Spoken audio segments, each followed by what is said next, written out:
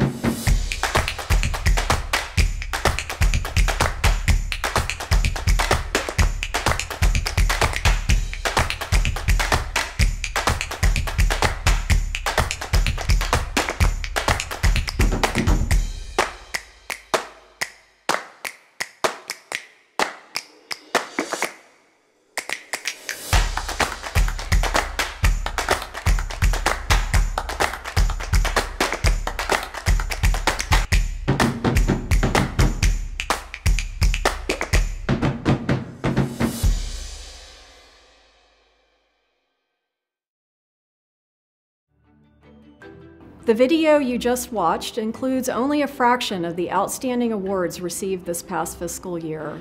Some of the awardees featured are among the over 240 Seed for Success recipients. The Seed for Success recognition is given to investigators who have received $1 million or more in research funding during the last fiscal year. In fiscal year 2020, Purdue was awarded 79 grants for a total value of more than 231 million.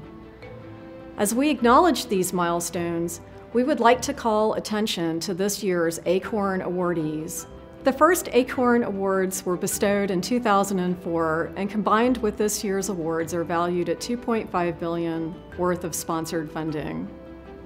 These bronze acorns are given only one time to first-time Seed for Success Award recipients. You are now in the company of the 1,349 Seed for Success ACORN Award winners since the award began. Please accept this ACORN Award as a token of sincere appreciation for your dedication to the discovery mission at Purdue.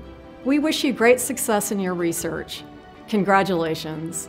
It is now my pleasure to introduce our Provost and Executive Vice President for Academic Affairs and Diversity, Jay Akridge.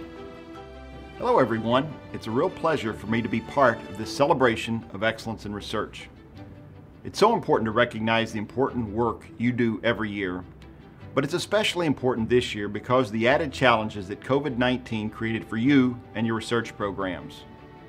We talk a lot about the unprecedented impact of this pandemic, and most often we turn to the 1918 flu pandemic to find its closest comparison.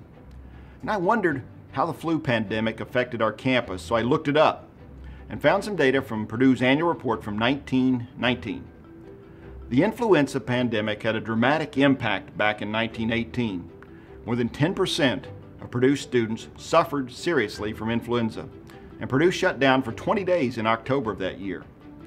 Now think about the scope of reopening the campus back then versus today. In 1919, there were 33 buildings on the campus. 19 were academic buildings. Today we have 385 buildings on our campus and research is conducted in more than 100 physical facilities in West Lafayette and around Indiana.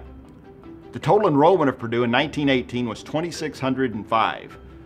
Today, we have more than 5,000 faculty, staff, postdocs, and students in our research enterprise alone. Some of our faculty have shifted the focus of their research so they could address the coronavirus as soon as it began to appear. As Dr. Richard Kuhn said, we've had an outpouring of researchers who are doing what they can do to address this global problem. While I don't think we'll ever fully truly know the collective impact COVID-19 has had on your research programs, what we do know is that your research has continued, thanks to you and the Return to Research program developed by Executive Vice President Teresa Mayer and her team. And that, frankly, is a remarkable achievement. It was a great privilege for me to recognize many of you at the virtual Faculty Awards convocation earlier this fall. And it's my honor to recognize again the two exceptional faculty who won this year's Morrill Awards.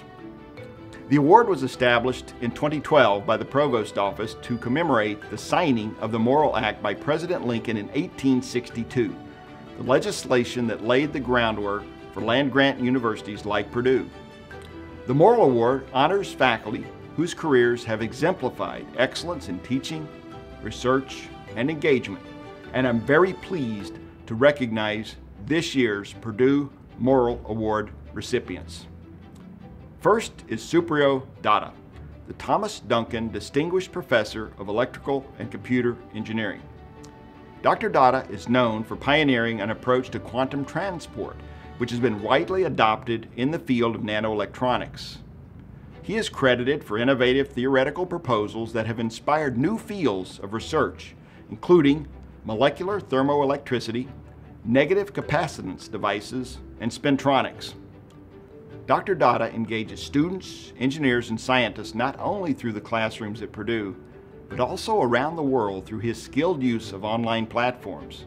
He has earned several Purdue and national teaching awards for undergraduate and graduate teaching excellence, and he's been inducted into Purdue's Book of Great Teachers. Our congratulations to Dr. Datta. The second Morrill Award winner is Professor Ken Ferraro, Distinguished Professor of Sociology. Dr. Ferraro is the founding director of the Center on Aging and the Life Course. He is known for his life course studies of health inequality, especially racial disparities and the early origins of adult health. His undergraduate courses on aging integrate service learning so that students interact face to face with seniors in the community. Dr. Ferraro led Purdue's initiative to join the age-friendly University Global Network to support meaningful roles for older adults on our campus. Purdue was the first university in the Big Ten and in Indiana to join this global network. Thank you, Dr. Ferraro, for your outstanding work and congratulations on your Morrill Award. Next, I'd like to introduce our Sigma Xi Faculty Award recipients. Sigma Xi is the International Honor Society of Science and Engineering, One of the oldest and largest scientific organizations in the world, Sigma Xi has a distinguished history of service to science and society for more than 125 years. The Sigma Xi Faculty Research Award goes to Fabio Ribeiro, the R. Norris and Eleanor Shreve Professor of Chemical Engineering. Dr. Ribeiro's research interests are centered on the kinetics of heterogeneous catalytic reactions and catalyst characterization under reaction conditions. And the Mid-Career Faculty Research Award goes to Arezoo Ardekani, Associate Professor of Mechanical Engineering. Dr. Ardekani's research focuses on the motion of particles and microorganisms in complex fluids and flow through porous media. Congratulations to both of our Sigma Xi awardees. Finally, as you know, Purdue's colleges and schools present research awards throughout the year. These awards acknowledge faculty whose research has contributed to the advancement of their disciplines. You can see by the number of names on the screen that we have many outstanding faculty doing important research throughout our academic units. And we thank each of you for your excellent work. Before I close, I'd like to add my congratulations to all of Purdue awardees this year. It's a great privilege to serve as your provost. I'm honored to be working along such brilliant and innovative scientists and scholars. I want to thank you once again for your commitment and determination, even under these most difficult circumstances. I'm deeply grateful for your efforts. And now, it's my pleasure to turn the podium over to President Daniels. My deepest congratulations on your accomplishments, and hail Purdue. Greetings, everyone. On the one hand, it's a shame that I uh, have to speak to you this evening remotely uh, or virtually in the way we've all become accustomed to in this uh, unique year of 2020. I would much rather do this as we always have in person. The Excellence in Research uh, evening is one of the highlights of the Purdue uh, calendar. Uh, there is one redeeming offset uh, to this necessity, and that is that I will get this year to uh, listen to all the lectures. Uh, frequently in the past, I have not been able to catch one or more, but uh, on the day, uh, well ahead of the evening, by the way, on which this is being recorded, uh, I'll be able to uh, watch Jayson's lecture. I read his book Unnaturally Delicious a year or two ago, and we're very proud of his work. And likewise, Kaushik and Chris, to you, congratulations. Thank you for the renown, the attention that you brought Purdue, and the way you've advanced uh, the world's state of knowledge in your uh, very, very important areas. This last uh, uh, uh year has brought, yet again, uh, records achieved by our faculty in research across the board. We passed the half a billion dollar mark in research awards for the first time, and incidentally, uh, both uh, patents and startups also hit all-time highs. And our, our researchers uh, achieved something else that uh, uh, really was a national uh, leadership accomplishment, and that is that you found a way back to your work, back to your labs on July 1 in numbers that, as far as we know, were not matched by any other research one university in the country.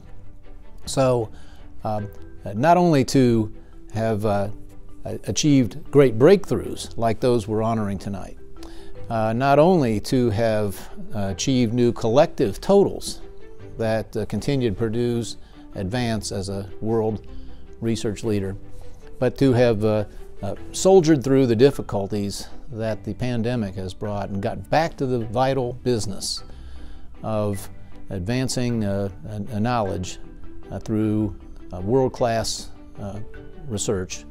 uh, for all these things, we thank every faculty member and, and most especially those we're honoring tonight. And now, I'll turn it over to Teresa. Thank you, President Daniels. Today we recognize three faculty members with Purdue University's most prestigious research awards. These awards represent broad areas of research and scholarly strength at Purdue University. Faculty members are invited to submit nominations for colleagues whose research contributions have significant impact on the world around us. The recipients are selected by faculty representatives and approved by the Executive Vice President for Research and Partnerships and the Office of the President. The university has established a permanent plaque in the Purdue Memorial Union to commemorate all former awardees for their outstanding research and scholarship in the natural sciences, in the areas of pure and applied science and engineering, and in the humanities and social sciences. The plaque is located at the northwest entrance to the Purdue Memorial Union across from the Book of Great Teachers plaque. And now it is my pleasure to begin the presentation of this year's Distinguished Research Awards. Our first award is the Luann Aday Award, established in 2017 by Purdue alumna Luann Aday. The Lorne D. Bain Distinguished Professor Emerita in Public Health and Medicine at the University of Texas School of Public Health in Houston. This annual award recognizes a Purdue University faculty member who has made a major impact in the humanities or social sciences. I would like to introduce Joan Fulton, professor and associate head of the Department of Agricultural Economics, to introduce our 2020 Luann Aday Award recipient. I'm pleased to introduce Dr. Jason Lusk, who is Distinguished Professor and Department Head of Agricultural Economics, and this year's recipient of the Luann Aday Award. Kate Murphy from the New York Times sums it up perfectly. Jason Lusk is a food and agricultural economist who studies what we eat and why we eat it. This topic is critically important in today's world because food is no longer just food. At this time, consumers are responding to different food characteristics. Thus, it is critical that we understand consumers' responses so we can respond with appropriate decisions for an efficient food system and distribution system. Jason Lusk is doing just that. His research encompasses five areas. First, he is a leader in developing new innovative research methods in behavioral economics. Secondly, he applies these new innovative research methods to analyze, understand, and predict consumer behavior. Third, he applies these results in multifaceted policy analysis related to food, nutrition, health, and consumer satisfaction. Fourth, as a forward looking academic, Jason Lusk is looking at consumer trends, identifying emerging food issues, and performing economic analysis of these issues.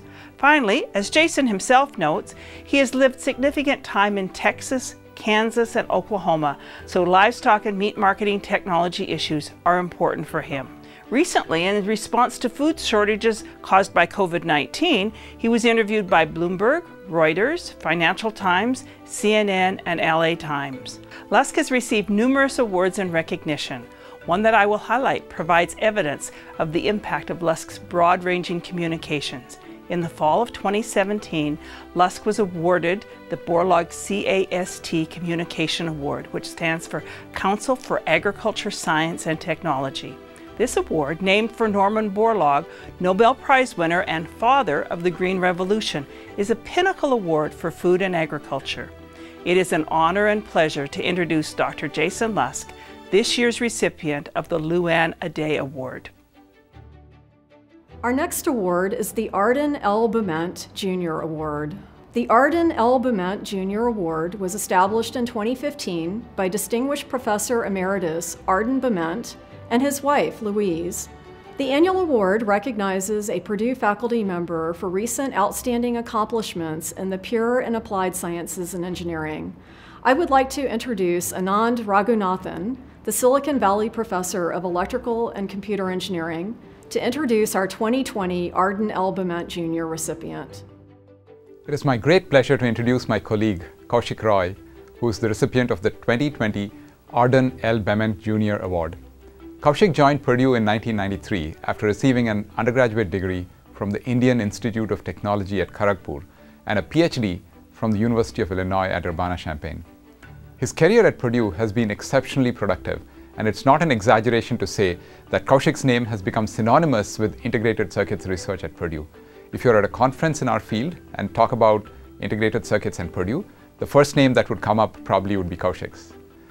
Kaushik presently serves as the director for the Center for Brain-Inspired Computing, a multi-university center funded by the Semiconductor Research Corporation and DARPA, with 10 universities, 18 faculty members, and over 150 graduate students and postdocs.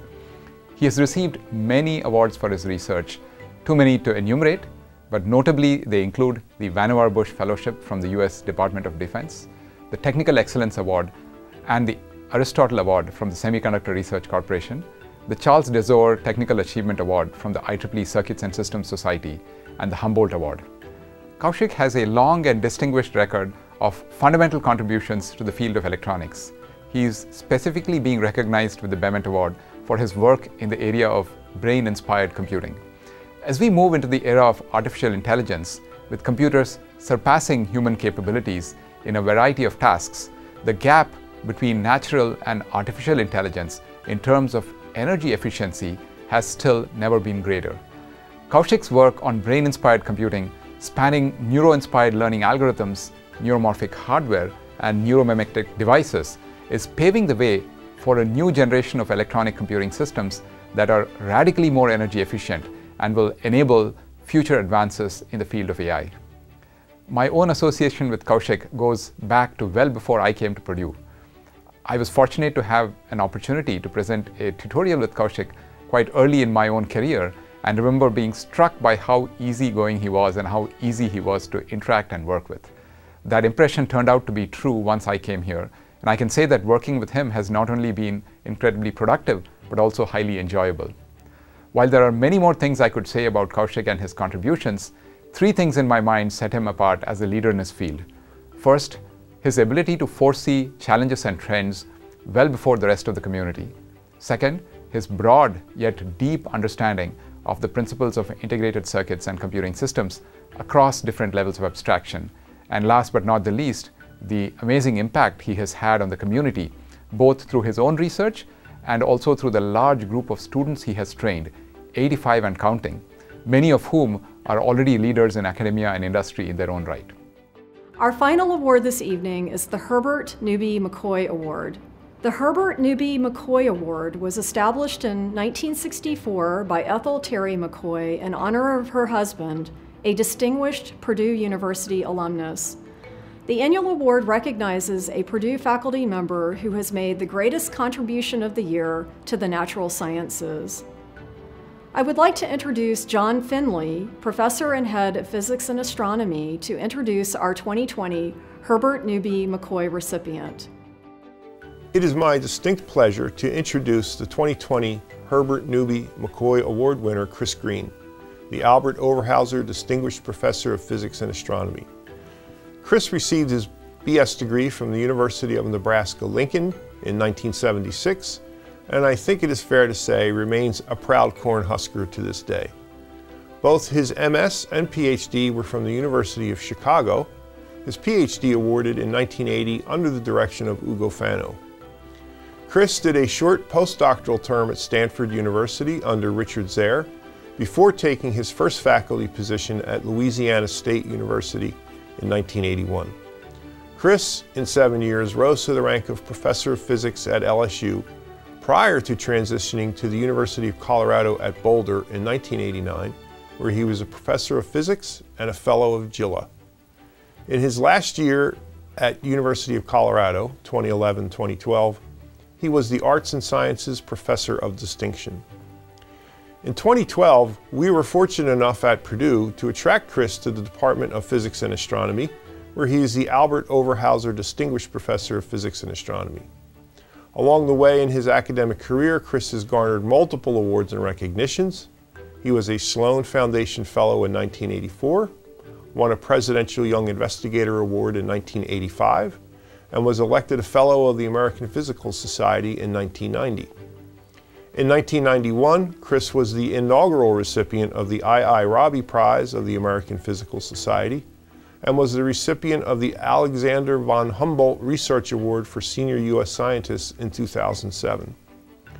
In 2010, he was the winner of the Davisson Germer Prize of the American Physical Society, cited for his seminal contributions to theoretical atomic, molecular, and optical physics. Chris's reputation is truly international, and he was the winner of a Hamburg Prize for Theoretical Physics in 2013. In 2019, Chris was deservedly elected to the U.S. National Academy of Sciences. His reputation and stature in his field are borne out by some of the comments of his anonymous evaluators, eminent scientists in their own right. For example, quote, Chris Greene is, in my opinion, the outstanding atomic theoretical physicist in the world, unquote. And, quote, I see Chris among the very few and exceptional AMO theorists are able to connect hardcore atomic physics and structure calculations with today's quantum science with atoms and molecules, unquote. All of his evaluators recognize Chris's insight into theoretical physics, and in regards to his work on few body physics, it is stated that, quote, concepts and methods that have come out of this work is still animating much current research, unquote. Perhaps Chris's work is best capsulized in this statement, quote, Chris Greene's work has been and is highly significant and influential in advanced research in contemporary physics, unquote. Chris is an outstanding scientist, as evidenced by the list of awards and honors just presented and the comments of other eminent scientists. But what is not obvious is that Chris is also an outstanding citizen of the Department of Physics and Astronomy, an outstanding mentor to his junior faculty, his more than two dozen PhD students, and his more than two dozen postdoctoral research associates. Chris will tell us today about the strange nature of the quantum world. Please welcome the Albert Overhauser Distinguished Professor of Physics and Astronomy and 2020 recipient of the Herbert Newby McCoy Award, Chris Greene. This concludes the 2020 Excellence in Research Awards. Once again, thank you for your continued work to ensure Purdue is always striving to keep our university at the forefront of innovative thought that benefits our society and helps us grow our next giant leap in research together. I hope to see you in person for our 2021 recognition. Boiler up and hail Purdue!